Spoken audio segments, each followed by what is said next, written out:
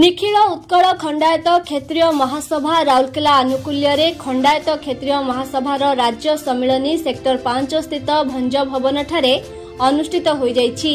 ମହାସଭାର ଉପସଭାପତି ଉପେନ୍ଦ୍ର କୁମାର ନାୟକ ଓ ସାଧାରଣ ସମ୍ପାଦକ ଶଶଧର ପାତ୍ରଙ୍କ ଆବାହକତ୍ୱ ତଥା ମୁଖପାତ୍ର କୁଞ୍ଜ ବିହାରୀ ରାଉତଙ୍କ ସଂଯୋଜନାରେ ଆୟୋଜିତ ଏହି କାର୍ଯ୍ୟକ୍ରମରେ ଖଣ୍ଡାୟତ କ୍ଷତ୍ରିୟ ସମାଜର ରାଜା ସଭାପତି ସରୋଜ ସିଂ ଅଧ୍ୟକ୍ଷତା କରିଥିଲେ।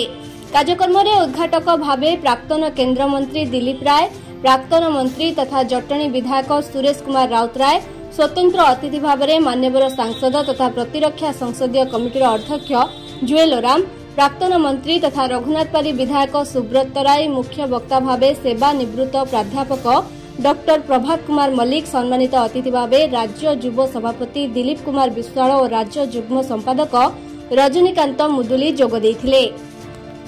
ମୁଖ୍ୟ ଅତିଥି ଶ୍ରୀ ରାଉତରାୟ ନିଜର ସ୍ୱଭାବ ସୁଲଭ ଢଙ୍ଗରେ ଖଣ୍ଡାୟତ ଜାତିର କାର୍ଯ୍ୟକଳାପ ଉପରେ ଆଲୋଚନା କରିଥିଲେ।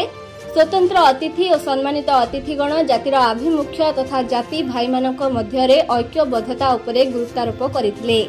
ମୁଖ୍ୟ ବକ୍ତା ଇତିହାସ ବିଭାଗର ପ୍ରାଧ୍ୟାପକ ଡକ୍ଟର ମଲ୍ଲିକ ଖଣ୍ଡାୟତ କ୍ଷତ୍ରିୟମାନଙ୍କ ଐତିହ୍ୟ ପରମ୍ପରା ଓ ବୀରତ୍ୱର ଗାଥା ଉପରେ ଆଲୋଚନା କରିଥିଲେ।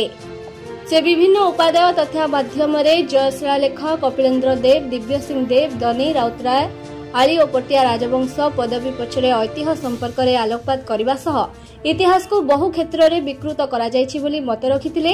ସାଧାରଣ ସମ୍ପାଦକ ଶ୍ରୀ ପାତ୍ର ସମ୍ପାଦକୀୟ ବିବରଣୀ ସହ ପାଇକ ବା କଳିଙ୍ଗ ରେଜିମେଣ୍ଟ କରିବା ପାଇଁ ଦାବି ଉଠାଇଥିଲେ। ଏହାସହ ଖଣ୍ଡାୟତ ଜାତିକୁ ଓବିସିରେ ଅନ୍ତର୍ଭୁକ୍ତ ଓ ସଂଗ୍ରହାଳୟ ପ୍ରତିଷ୍ଠା ପାଇଁ ଦାବି କରିଥିଲେ। ପ୍ରାରମ୍ଭରେ ଖଣ୍ଡାୟତ କ୍ଷେତ୍ରୀୟ ମହିଳା ମିନତୀ ବିଶ୍ୱାଳ ସସ୍ମିତା ପ୍ରଧାନଙ୍କ ନେତୃତ୍ୱରେ ମହିଳାମାନେ ପାଟଖଣ୍ଡା ବାରହାତ ଖଣ୍ଡକୁ ଶୋଭାଯାତ୍ରାର ନେତୃତ୍ୱ ନେଇ ଭଞ୍ଜ ଭବନଠାରେ ପହଞ୍ଚିଥିଲେ। ତେବେ ସେଠାରେ ମୁଖ୍ୟ ଅତିଥି ଓ ଅନ୍ୟ ଅତିଥିମାନେ ଜାତି ଧ୍ୱଜା ଉତ୍ତୋଳନ କରିଥିଲେ। ତେବେ ଏହାସହ ମଧ୍ୟାହ୍ନ ଭୋଜନ ପରେ ସାଂଗଠନିକ ତଥା ବିଭିନ୍ନ ଜିଲ୍ଲାରୁ ଆସିଥିବା ପ୍ରତିନିଧିମାନଙ୍କ ସହ ଆଲୋଚନା ଓ ଧୈର୍ଯ୍ୟ ଅବତରଣ କରାଯାଇ ସମ୍ମିଳନୀ ସମାପ୍ତ କରାଯାଇଥିଲା। ଶେଷରେ ସଭାପତିତ୍ୱ କରୁଥିବା ଉପସଭାପତି ଶ୍ରୀ ନାୟକ ଧନ୍ୟବାଦ ଅର୍ପଣ କରିଥିଲେ। ରାଉରକେଲାରୁ ଦିଲ୍ଲୀପ ଶର୍ମାଙ୍କ ରିପୋର୍ଟ କଳିଙ୍ଗ ସମାଚାର।